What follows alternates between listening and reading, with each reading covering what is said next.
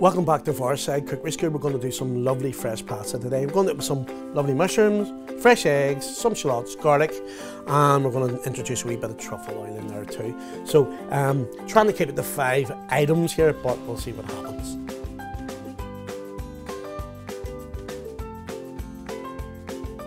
People get a wee bit worried about making fresh pasta, think it's awfully complicated. It's not a bit complicated. It's flour, eggs, and oil. That's it. Dead easy. First thing we do is we get 200 grams of flour, we put it into our bowl, simple as that. With your hand, or I even use a clean bottle, run a well right in the centre of the flour. So for every 100 grams of uh, flour, we use one egg yolk, so we're using two egg yolks. In goes our eggs. I'm using these fantastic free range eggs, beautiful eggs. They're blue. Some people think they're duck eggs. They're not. They're hen's eggs. They're a fantastic egg. Um, I'm going to get two tablespoons of good olive oil. Doesn't have to be extra virgin oil. Olive oil is cool. In goes the two tablespoons of olive oil with the eggs. Simple as that. Okay. What we're going to do now is we're going to whisk our egg yolks like so. I'm going to introduce another egg here with the egg white this stage do this. Working away. And when I'm teaching this, I call this, it's just like making scrambled eggs. And what we start to do is we start to introduce the flour to the egg yolk and the egg white. Using a fork. You will look in there and you'll go, my goodness, that looks a bit strange. It's all lumpy and stuff. But what we do now is we turn that on our bench like so, like that. Got our egg yolk there. If you find it's a bit dry, it's dead easy. All we do is add another wee bit of olive oil to it. Sometimes you'll find with the humidity and temperature of the room, things can change with flour. And a good baker will tell you that too. So what we do here is we start working the egg, the oil, and the flour together. Okay, so what we do is we work this here into a dough. We knead it for about 10 minutes and then we wrap it in cling film and then we let it rest in the fridge. Okay, so we've got some lovely mushrooms. That's a huge shiitake mushroom, so I'm just going to slice it down. Um, thing about when you're using mushrooms, everybody, just remember that we don't go straight to the sink with our mushrooms and start soaking them and wash them hot water or cold water at all because mushrooms are so porous, they'll end up actually like a sponge, taking all the water in. So the whole thing is what you do is you just get yourself a little brush, brush the um, dirt off the mushrooms. I wouldn't generally use an onion when I'm um, cooking uh, dishes with um, what I call short cooking times.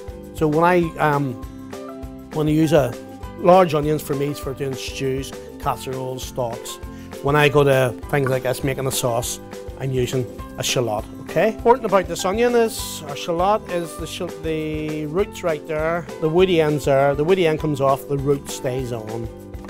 Um, too many people take that off, and that's when the tears start. So point your knife, pour its way through, straight like that. Shoot of this shape here. We turn our shallot round. We lay our knife flat, fingers tucked in, and then we're coming through like so. Chop it up, always with your fingers tucked in. That's that done. Next thing I'm going to do is get a bit of garlic. And what I'm going to do with my handy grater, which is really good, put my garlic through the grater like that. So the garlic, the shallot, and the mushroom is ready for the pan. And the next thing I'm going to show you how to make is a lovely simple sauce. So this carbonara sauce was just two egg yolks, beat them slightly like that. 100 milliliters of double cream, and it goes like so. Again, give it another repeat up. Make sure they're incorporated. Okay, next stage is we're going to get our pasta in the fridge, make our fresh pasta, get our lovely mushroom shallots and garlics cooking, and then we're going to bring it all together, put our pasta in here with our sauce, and then we'll have a lovely fresh pasta dish. Okay, so we've got our pasta in the fridge, rested for a half an hour. Uh, you can look at the colour up, the pasta looks fantastic. That's those great egg yolks. And then we're going to give it a wee roll out, like that. You're going to be rough edge like I've got there. Just use your knife. That's simple. Cut it off like that. Roll their pasta out. I'm fortunate enough to have a machine here in the cookery school. But you could keep rolling by hand there and do it yourself and cut it into whatever shapes you want. What I would do is roll that until it's really thin. And then what you can do is you roll the pasta up like that. Get easy make tagliatelle. And you cut it down like so into little ribbons. So we've got our pasta ready. We're actually now going to start cooking. So get yourself a good glug of olive oil in the base of your pan, okay? So you've got to be generous with the oil, okay? In goes your shallot and your garlic. Cooking over medium heat for you at home, okay? And that goes. Getting that lovely smell of garlic and shallot. It smells brilliant.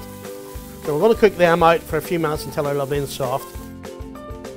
You will find here, like I said at the start, mushrooms are very porous okay? This technique of cooking is called sauteing. So once you're keep moving things, almost our truffle out.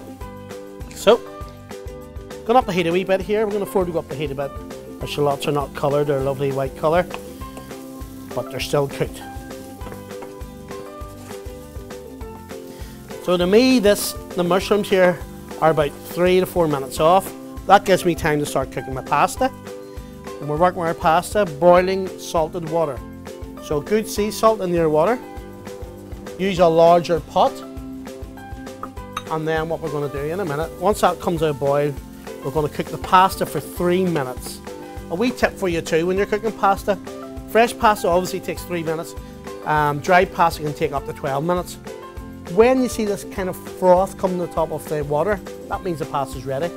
Okay, so That wee second. We're sauteing our mushrooms still, waiting for water to boil. So, got some Parmesan or Pecorino cheese, whichever takes your fancy. Get it grated on your small part of your grater. Get plenty of it because you love that bit of cheese right on top of your pasta. I'm sure we all go back for the extra cheese. Um, there you go. Just a little tip for you, when I put my pasta in, I got my knife, point of a knife, give it a bit of a swirl. That means the pasta sort of stops sticking from each other and then we're going to wait for that three minutes I talked about. Mushrooms are practically ready. So what I'm going to do is that you could do at home, set them off the heat for now, and leave them be.